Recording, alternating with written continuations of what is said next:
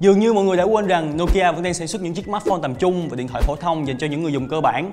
Và ai nói rằng Nokia đã chết? Có một nguồn thông tin có tính xác thực cao rằng Nokia chuẩn bị cho ra mắt sản phẩm mới, một chiếc smartphone mới mang tên Nokia C220. Đây hứa hẹn sẽ một chiếc smartphone mang lại nhiều hiệu năng thú vị cho người dùng. Và đặc biệt giá thành cũng chỉ hơn có 3 triệu mà thôi.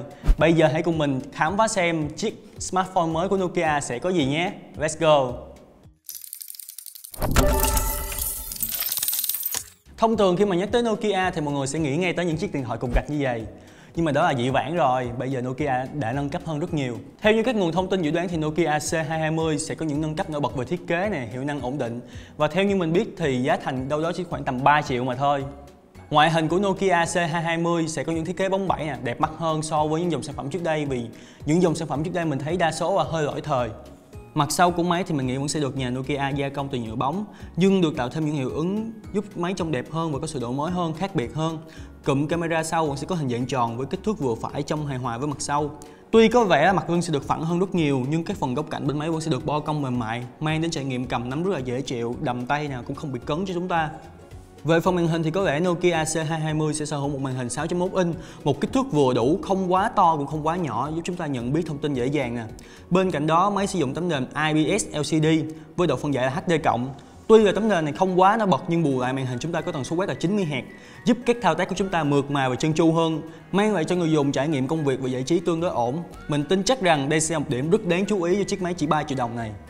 Về hiệu năng thì theo mình Nokia C220 sẽ được trang bị con chip Unisoc, nhưng mà bản thân mình lại kỳ vọng máy sẽ được trang bị con chip Snapdragon 4 Gen 1. Nếu như sở hữu được con chip này thì mình tin rằng Nokia C220 sẽ là đối thủ đáng gờm với những dòng máy trong phân khúc đó nha. Ngoài ra thì bộ nhớ trong được kỳ vọng là sẽ có hai phiên bản 64GB và 128GB. Nguyên nhân mà mình kỳ vọng như vậy là do càng ngày app của chúng ta đã rất nặng. Nhiều hãng họ cũng đã loại bỏ cái phiên bản 64GB trên thiết bị của họ. Nếu như bộ nhớ trong của Nokia C220 đạt ở mức cao thì sẽ dễ tiếp cận với những khách hàng tiềm năng hơn. Về dung lượng pin thì mình nghĩ máy sẽ sở hữu viên pin lên đến 5000 mAh. Đây là một con số khá quen thuộc với các dòng smartphone hiện nay, đặc biệt các dòng smartphone của Nokia pin trâu do không phải gánh nhiều về hiệu năng màn hình cũng như là Android 13 hay 14 ở trong thời điểm hiện tại thì mình tin chắc rằng khi ra mắt chiếc Nokia C220 này sẽ rất tiết kiệm pin cho chúng ta. Cuối cùng là về phần máy ảnh. Thường thì các dòng máy trong phân khúc bình dân thì chúng ta cũng ít quan tâm về camera.